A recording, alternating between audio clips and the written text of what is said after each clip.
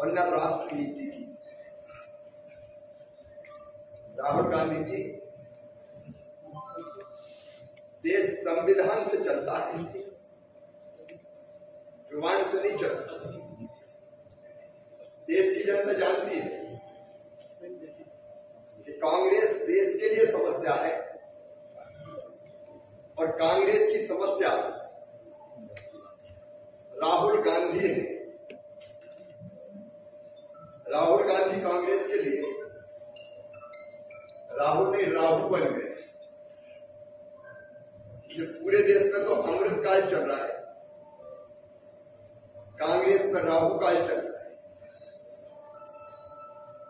अगर राहुल जी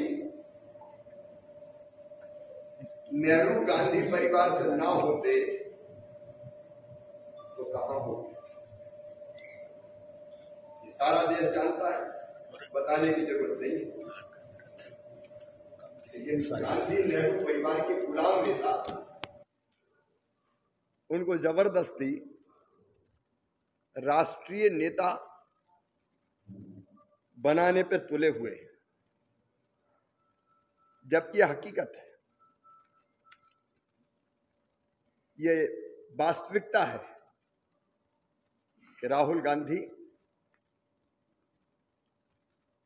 गांधी नेहरू परिवार के सबसे असफल,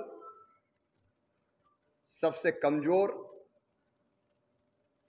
गैर जिम्मेदार, लापरवाह और अहंकारी नेता है। देश भूला नहीं होगा। ये राहुल गांधी का अहंकार नहीं था तो क्या था? तब जब उन्हीं की सरकार थी, उन्हीं की सरकार, केंद्र सरकार के लाए हुए ऑर्डिनेंस को तब, जब तत्कालीन प्रधानमंत्री मनमोहन सिंह जी देश के बाहर थे ऑर्डिनेंस को फाड़ के फेंक दिया था। अब प्रधानमंत्री जी, प्रधानमंत्री के रूप में मनमोहन सिंह जी की क्या हालत हुई होगी? क्या ये राहुल का